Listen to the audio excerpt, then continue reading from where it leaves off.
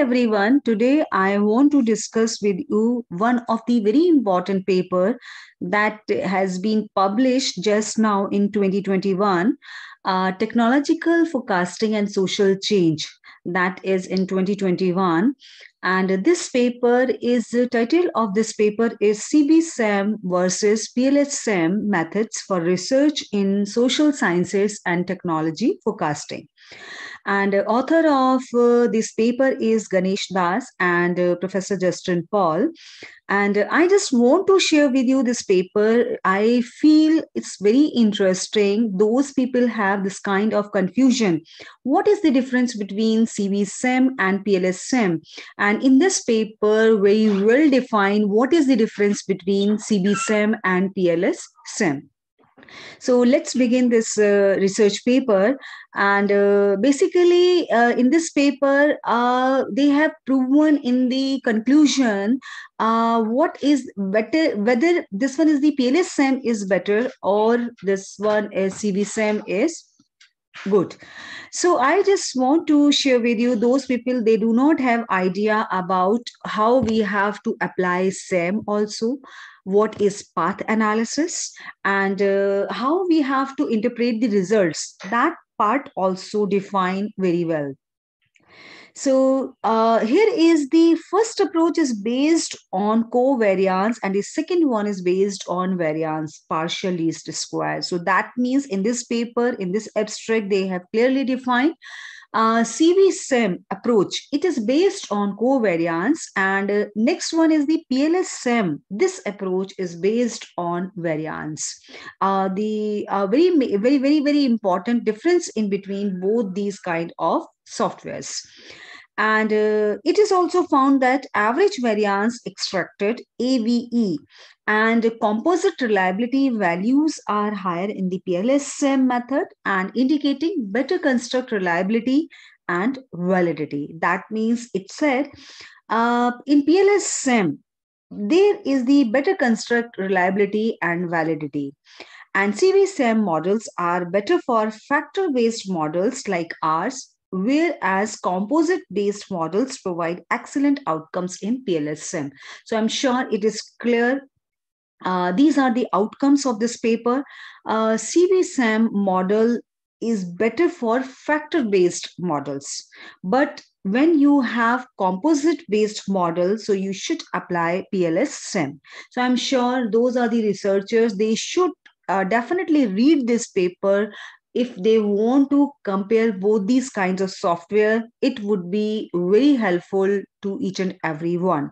So let's begin. This is the part of the introduction. You can see here, right? And all the very, very important here at all. Uh, 2017 all the references are properly mentioned. And after that here is the uh, the pls approach has become quite popular among researchers due to its variance based relationship rather than covariance. Because whenever we are going to apply covariance so we can we, we can apply structure equation modeling cb based cb-sem and but when we have this one is the only variance based approach. So we have to apply pls a pls smart pls you can apply. And after that, you can see here, this is the well-defined paper. And uh, here is, you can see second section. After this first section, that is the introduction uh, the purpose of this paper in a, they have defined here uh, this paper is to compare both approaches based on various parameters and to provide a possible solution to the dilemma. And uh, obviously because i have gone through this entire paper so i have uh, this clarity whether uh, where we are going to apply cb-sem where we are going to apply pls-sem then the second section of this paper that is focused on the scope of the paper.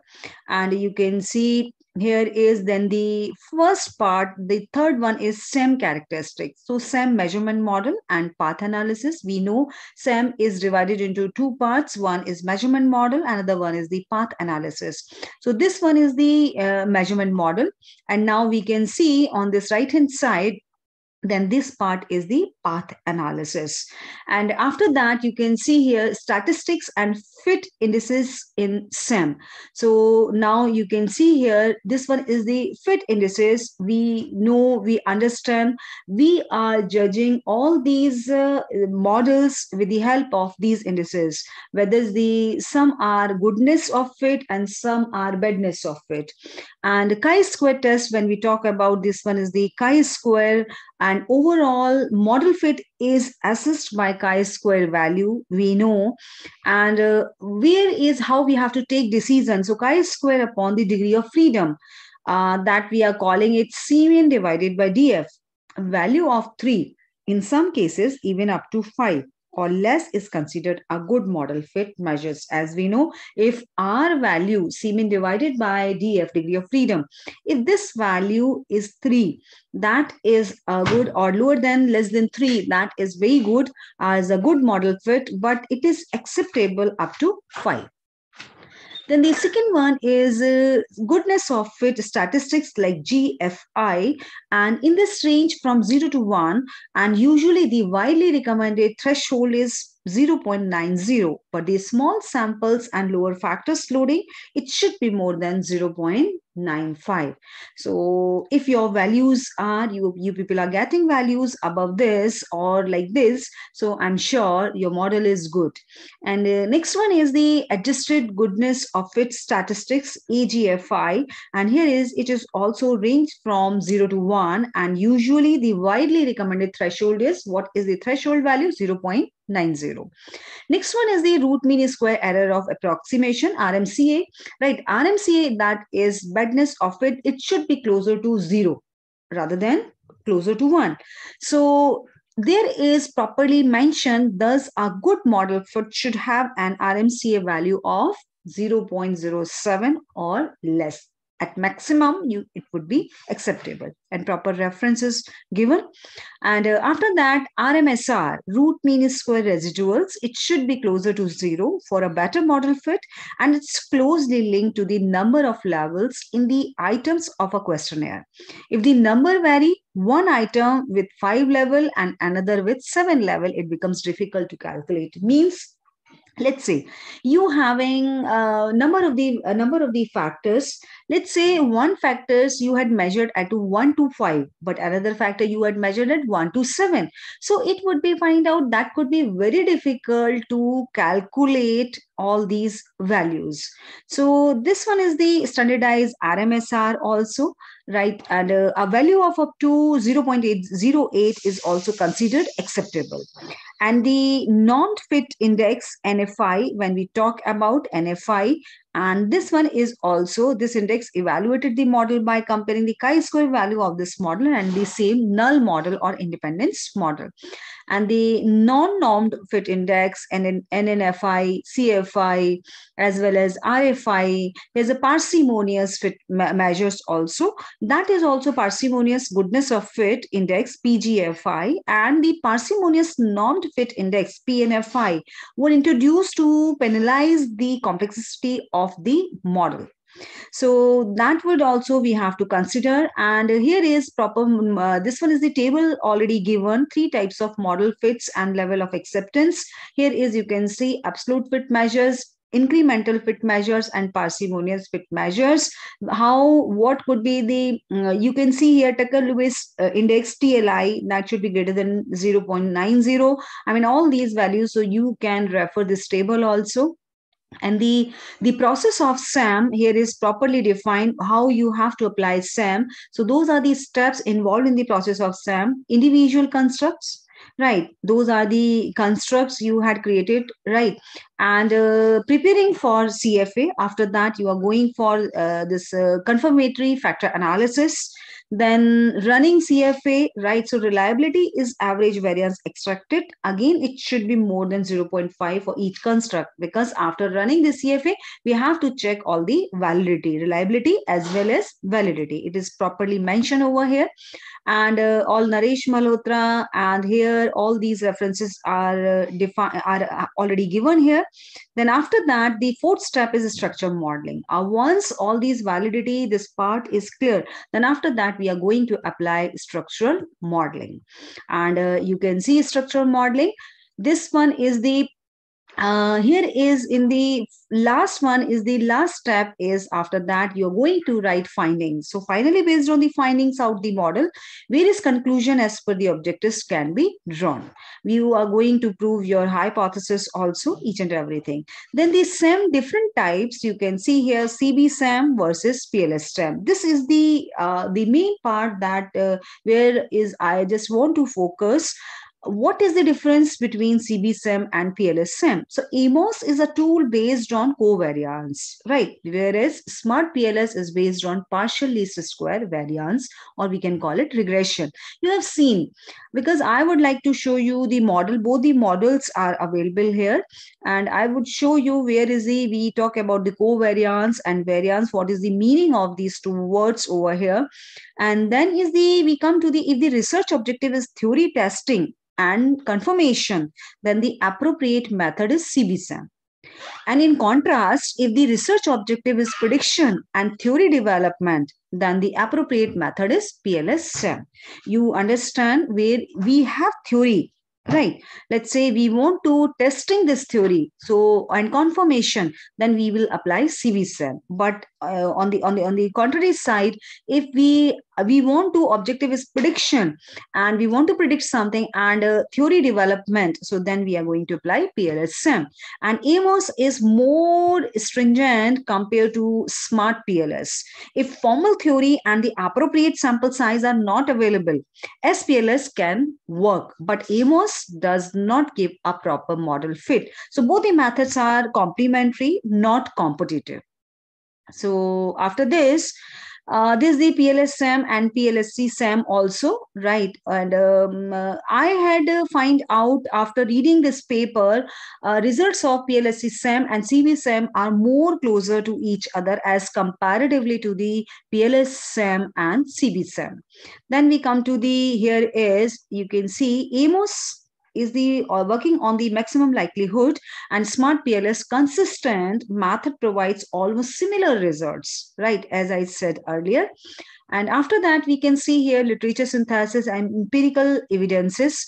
So they have taken these are the constructs name i mean latent variables Um, uh, brand in identity and customer satisfaction right? There is the one hypothesis has been created. Brand identity has a positive and significant impact on consumer satisfaction. Second hypothesis that is customer satisfaction has a positive and significant impact on purchase intention.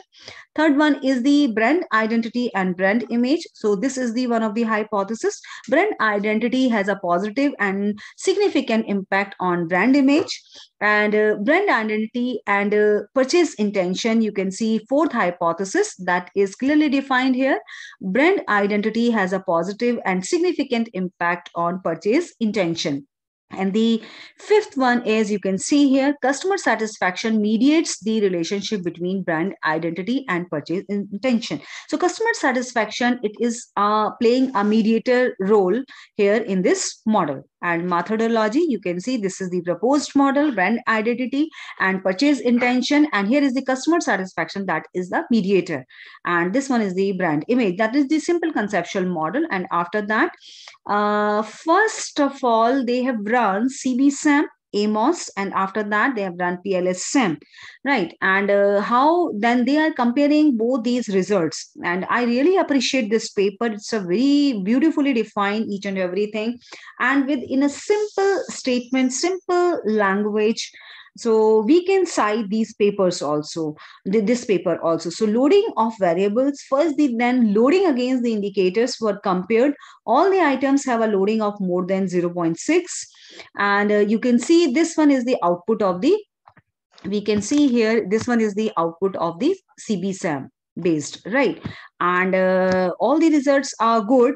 We can see here all the loadings are good. All loadings are above 0.7 all the loadings are above 0.7 i'm sure this one is the 0.68 right? Very good result. And this one is the pls based result right? And uh, now this is the pls algorithm sem and this one is the sem consistent pls algorithm plsc and now you can see here it was clear that the item loading are usually higher in higher in PLSSEM and CBSEM and uh, range of the loadings between highest and lowest under one construct was lower in PLSSEM compared to CBSEM.